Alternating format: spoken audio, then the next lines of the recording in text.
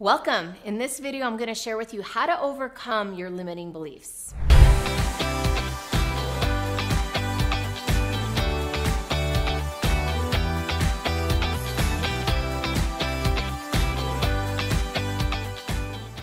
So, there are four key steps to overcoming limiting beliefs, at least in the work that I do with my clients. I'm sure there are many other methodologies out there, but this seems simple and it seems to work really, really well.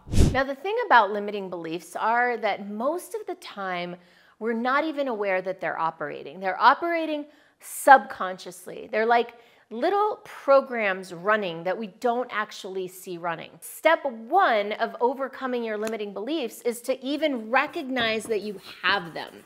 And that's where awareness comes in. We've got to cultivate awareness of our limiting beliefs. How do we do that?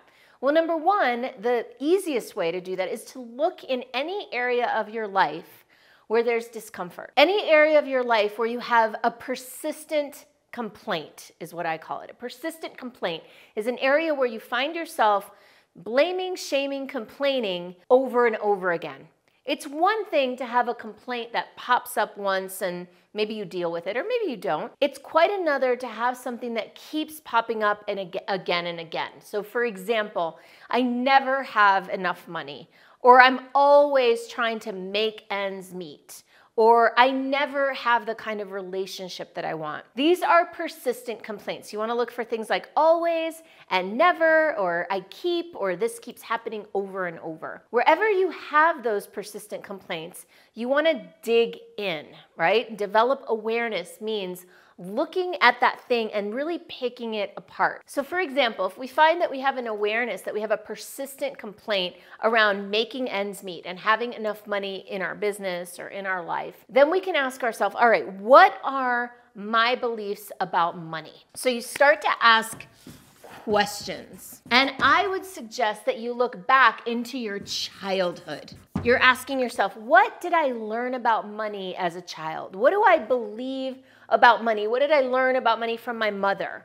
What did I learn about money from my father? What are my beliefs about money? Do I believe that it's hard to make money or do I believe it's easy to make money? And just listing down all of the beliefs that you hold about money, just one by one, without judgment. Just capture the limiting beliefs that you have about this area that you have this persistent complaint in. The second thing you want to do is to challenge those beliefs. So the way that you challenge it is one by one, you go through and you say, is this absolutely true all the time in every situation for me and for everyone else? So you want to distinguish what is a universal truth from what is a limiting belief. So the second thing is to challenge the belief itself, the veracity of that belief that you hold very deeply, apparently. And what you're looking for is examples of it not being true. Even if it's just a couple of examples, what you need to do is disprove, challenge that it is true across the board universally. So back to the example from above money. I find that I'm having this persistent complaint about making ends meet.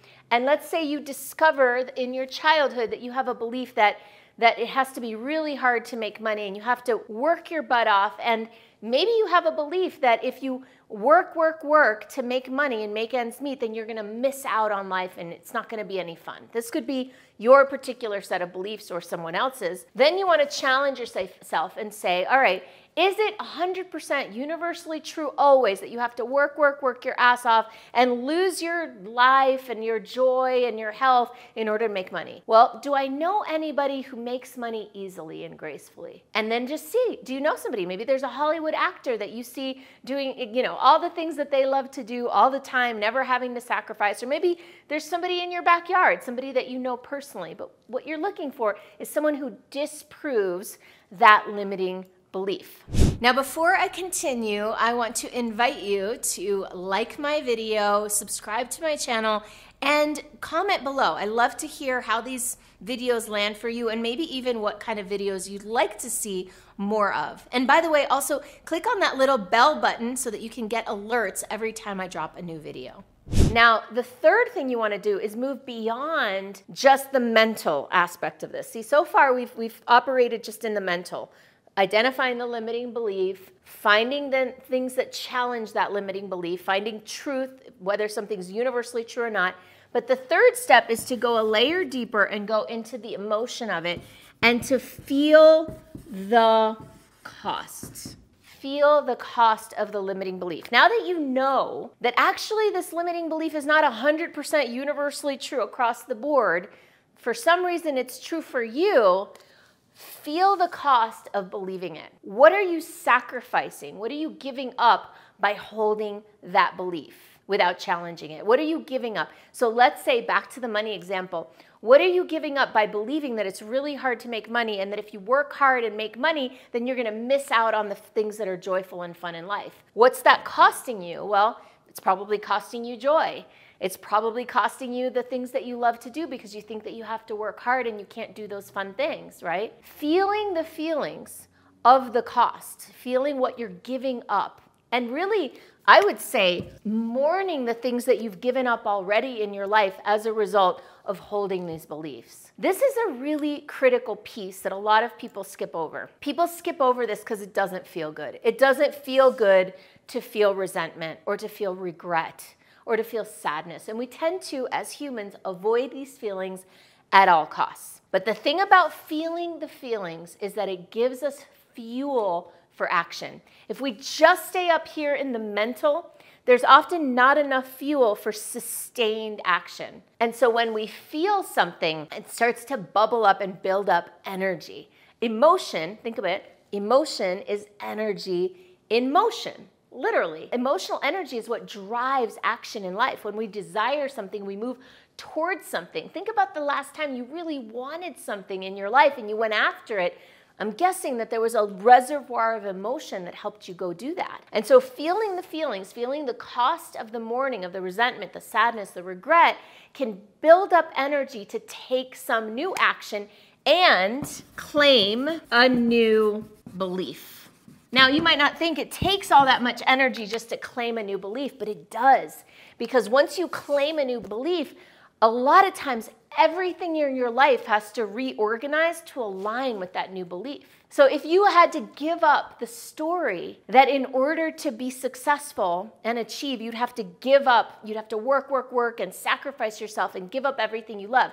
If you had to give up that story, all of a sudden claiming this thing like, I claim grace and ease and joy in my career, you might have to quit your job. You might have to start a new business you might have to change a whole bunch of things in your life. There might be a need for a whole lot of energy to take action because when you claim a new belief, oftentimes that means that all of a sudden every area of your life that's out of alignment with that belief needs to shift. And that's sometimes really challenging. Or it could be really easy too. I don't want to give you the limiting belief that it's always challenging to change things in your lives because it's sometimes very joyful and easy and pleasant. If you are a coach, a speaker, an author, consultant, or other kind of expert, and you're looking to drop your limiting beliefs and grow your business in a way that's joyful and energy rich and sustainable and scalable, let's connect. You can book time with me for free you can both book a discovery call with me at superstaractivator.com slash go or just click on the link below in the notes.